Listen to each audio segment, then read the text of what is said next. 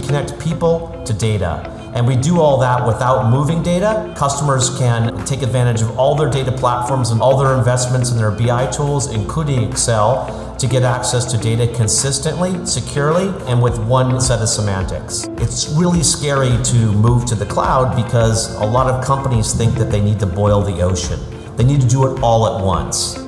That's a really risky proposition because you don't have any time to learn as you go. The virtual data warehouse gives IT the ability to have the freedom to take advantage of these new data platforms without having to rip and replace, without having to ditch all their old investments. And they can take advantage of these new data platforms and use the best data platform for the job without having to worry about whether it's going to work for analytics or what the implications are of adopting that new platform. So with AtScale, given the fact that we allow you to access data platforms both on-premise and in the cloud, you can move to the cloud and not interrupt your business users and have to force your business users to understand not only how the data is being stored now, but also where it's stored.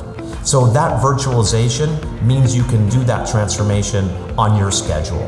Optimizing performance is always the hardest and probably the most time consuming job for anybody who's trying to deliver analytics to the business. We manage performance not just in terms of delivering queries under five seconds, but we do that consistently. And we do that with our adaptive cache, and we do that by learning about what customers are asking and then optimizing that performance of those queries in the underlying data platforms automatically. Because we haven't transferred and copied the data and applied a bunch of rules in code, we're able to maintain consistent data lineage throughout the whole entire life cycle of data. And we do that without creating data copies or without creating embedded coded rules of that data.